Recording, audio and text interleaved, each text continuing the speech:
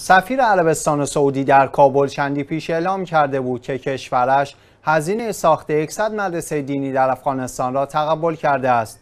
به گزارش شیعه وبز اخبار شیعان جهان جسیم محمد الخالقی سفیر عربستان سعودی در کابل پس از دیدار با فضل مسلمیار رئیس مجلس سنای افغانستان اعلام کرده بود که دولت ریاض هزینه اجرای 35 برنامه توسعه‌ای و ساخت 100 مدرسه دینی را در, افغان... در سراسر افغانستان در دستور کار خود قرار داده است.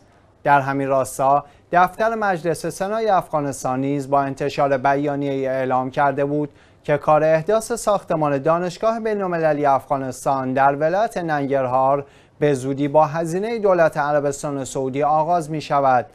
این کشور همچنین بیمارستانی را در شهر کابل به ارزش 30 میلیون دلار احداث خواهد کرد.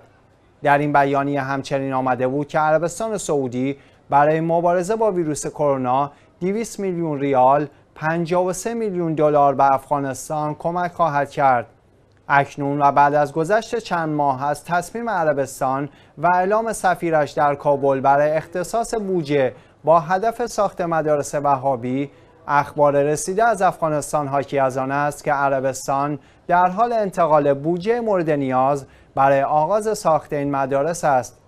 بدون شک عربستان سعودی با ساخت این مدارس به دنبال انتشار هرچه بیشتر اندیشه افراطی وهابیت در افغانستان است تا بتواند از این طریق علاوه بر افزایش نفوذ خود در مرکز آسیا به مبارزه با پیروان مکتب اهل بیت اسمت و طهارت علیهم السلام در کشور افغانستان بپردازد.